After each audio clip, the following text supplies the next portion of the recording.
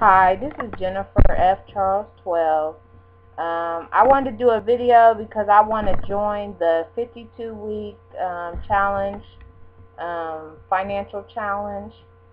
Um,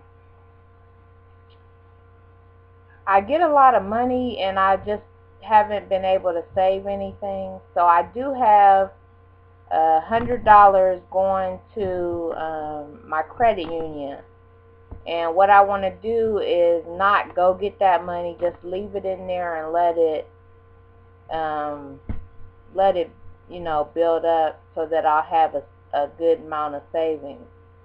Um, so I want to do videos with this 52 week challenge to keep myself accountable. Um,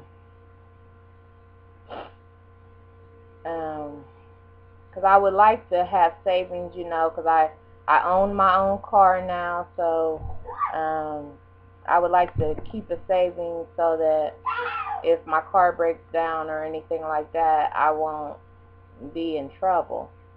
Um, I think if I can keep that hundred dollars in there and let it build up, um, that would be really good for me um, because I usually I'm one of those people um, because of my medical problems and things. I, I it's like I spend I spend every dime that I get. Um, that's the baby talking.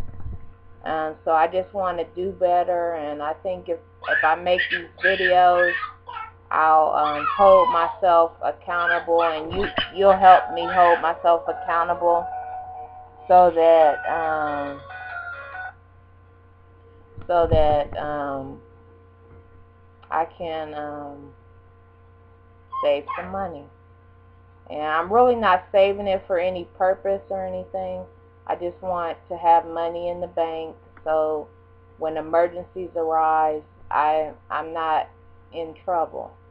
Um, comment, rate, and subscribe, and let me know if you're joining the 52 week challenge with me. Bye bye.